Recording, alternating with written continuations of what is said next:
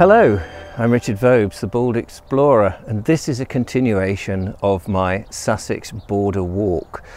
And if you've been watching from the beginning, you'll know I've started in Worthing as my starting point at the pier, and I am making a clockwise um, walk around the county, which is going to take some time to do, I've suddenly realised.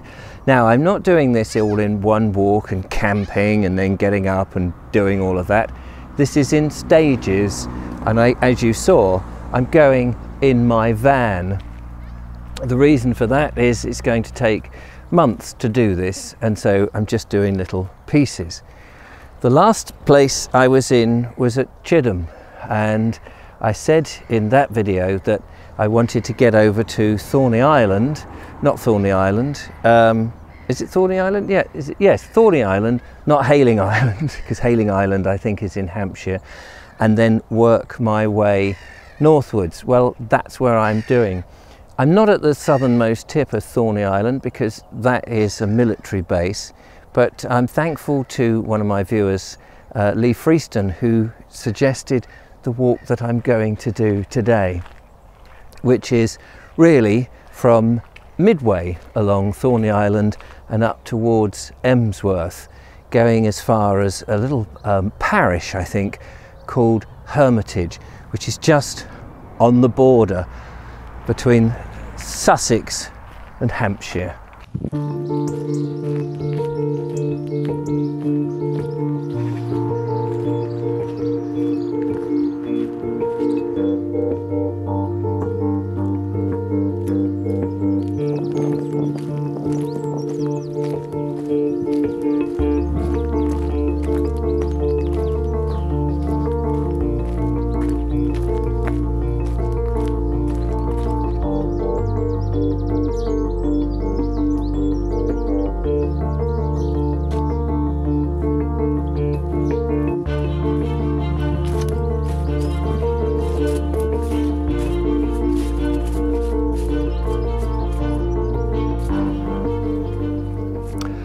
Well, it's another early morning. I like to do these early morning walks. And the first thing is I've got to go from where I've parked the car, the, sorry, the van, it's a van, still, still calling it a car.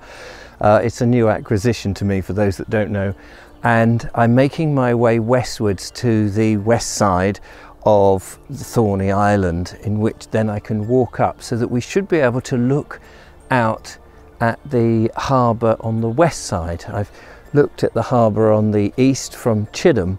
So we're just going along this little footpath to see what we can see and then walk up, as I say, towards Emsworth. And sticking, of course, to the footpaths at the moment. In the future, however, um, there is a Sussex border path. I'm not necessarily adhering to that because I want to try and stay as close to the border as possible. But if there are things that become more interesting that I want to dive over and have a look at and then get back onto the border, I might rather than just stay on the border footpath.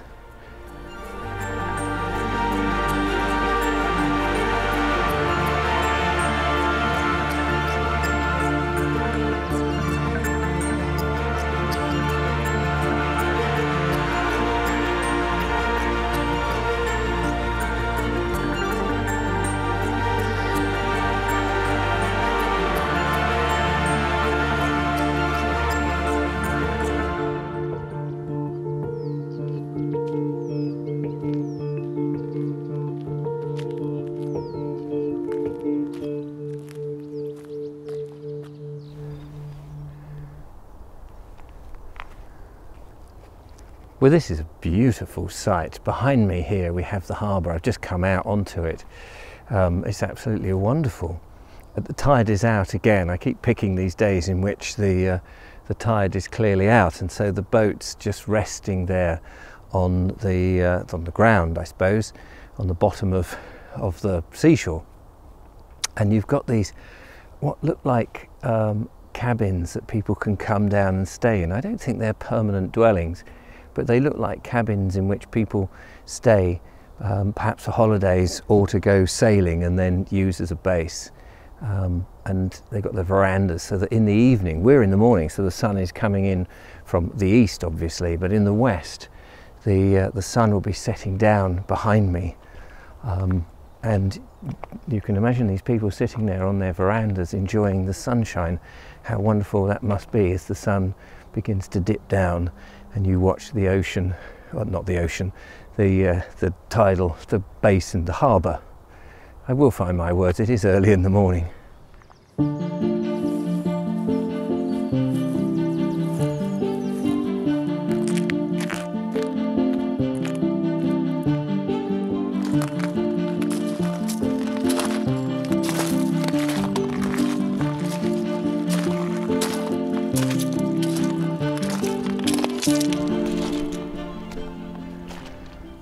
Just thought I'd wade a little out. Uh, not literally wade, as in get my feet wet, but well, at least I hope not. I'm just walking out into the into the harbour basin area just to get a feel for what it's like if you were on a boat and to have a look back at the shoreline. It's absolutely lovely. This is one of the things I love about getting up early and coming out is that you can do this. There's nobody about. I haven't actually seen any dog walkers this morning. We've got modern boats here behind me. Of course, it's, it's lovely to imagine over time the different types of boats, the historic boats that would have been in here.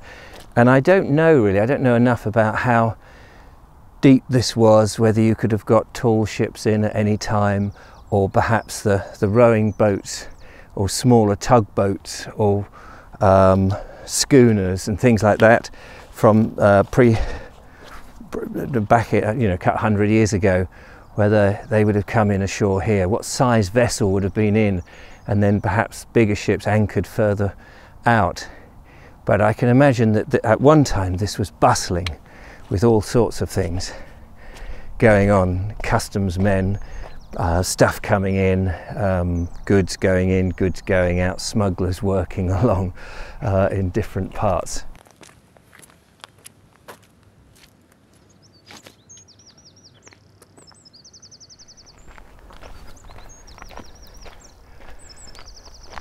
Okay, I'm back on the shoreline now and um, walking up, uh, heading up towards Emsworth on the Hampshire border and Hermitage on the Sussex border and first it looks like I'm coming into a little marina. So let's have a look at that.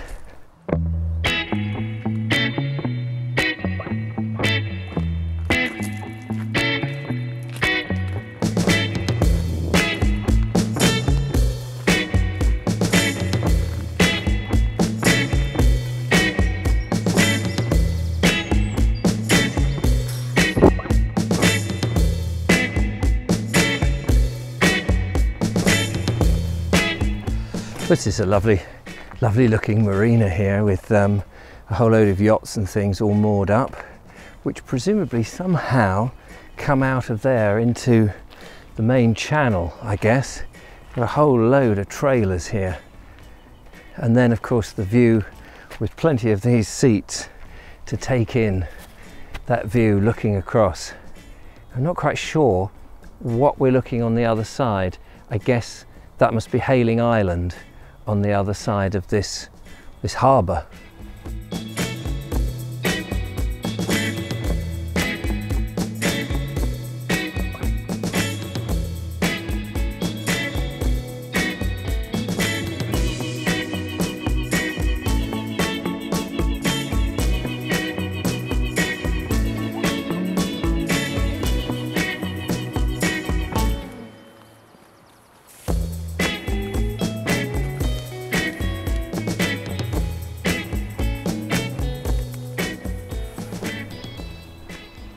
Path which carries on up towards Emsworth is somewhat overgrown at the moment. There's absolute wealth of wild flowers. We've got a lot of mallow. I don't know if it's tree mallow because it's actually quite tall here and uh, a whole load of other bits and bobs and what looks like cow parsley that's absolutely massive. And we get glimpses of more of the uh, the marina down on my left, and of course the wide view of the harbour, which looks very quaint.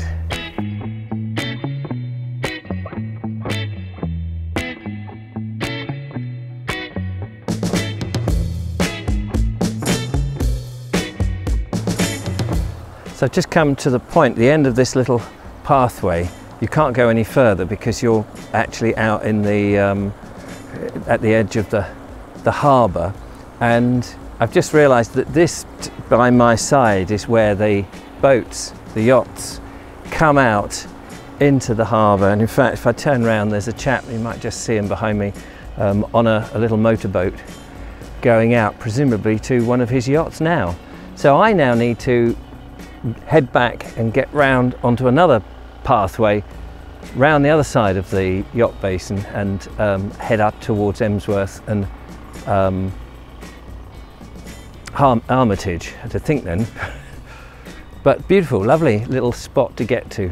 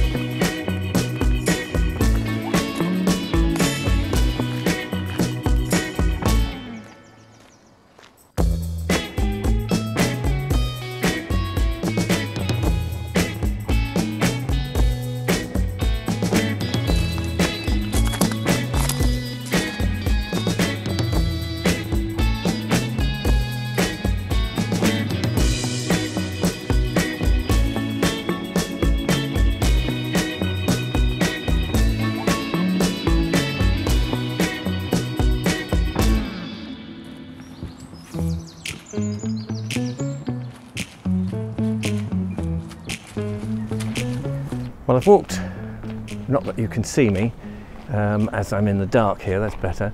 I've walked around the yacht um, harbour and the marina and what have you, and I've now come to the other side of what's called the Slipper Mill. In fact, there's a, there's a sign here about the Slipper, Slipper Mill and the pond, which is just in front of me, before I get up onto the main 259.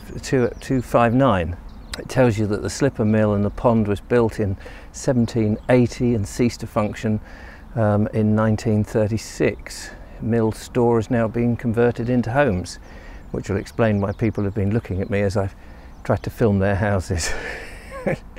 um, but obviously there's a lot of interesting um, species that are here, a bit of a wildlife habitat. So behind me is where I was, and I was right over there on the far spit of land, and the little motorboat that, that I mentioned, I don't know how much you saw of him, he was coming through here into the channel. And then we've got the mill pond in front of me here, um, quite a large mill pond, it has to be said, and then there's a spit of land that walks up around the pond and goes up to the 259. So I'm going to walk up there and that'll be the end of my journey because I'm going to pick myself up on the other side um, in the next episode. But let's go up there and have a look.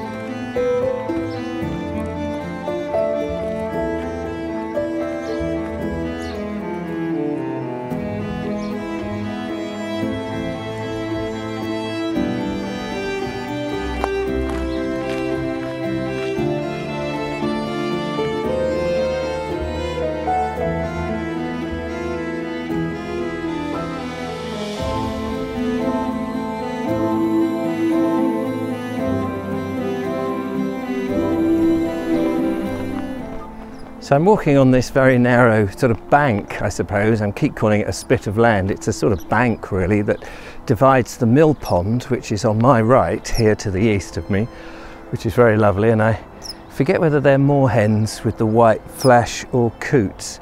Um, there's a rhyme, isn't there? I forget what it is.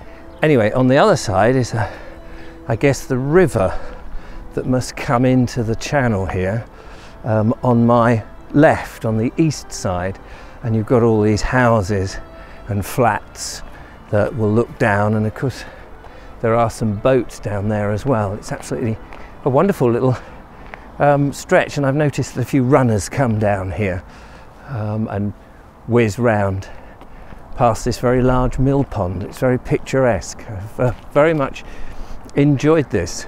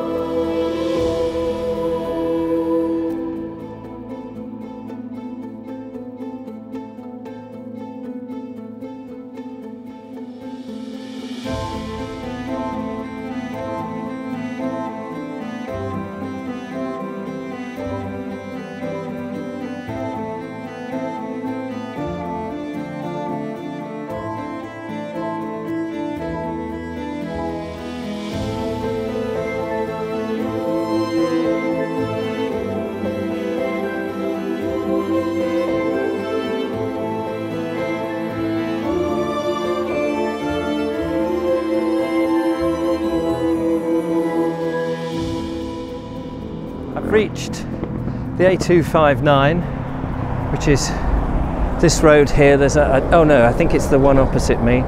Um, and actually, I can see the sign for the Hampshire border. So that just proves I'm on the border. This is the other side of the mill pond. So just to prove that we have reached the Hampshire border and that we will be heading north from now on in I will come up to the sign, which is just in front of me here. And so, from the coastal routes, we'll say goodbye as we, in the next episode, start to head northwards. But here it is. I've reached the Hampshire border. it's so thrilling. Um, so, anyway, that's it from a busy A259. Uh, join me again on my next Sussex border walk as I start heading up northwards clockwise and make our way round. But anyway, from me, Richard Vobes, thanks so much for watching. Don't forget to follow, like, and subscribe and become a patron. Support what I do, and I'll bring you more of these walks. Till next time, bye bye.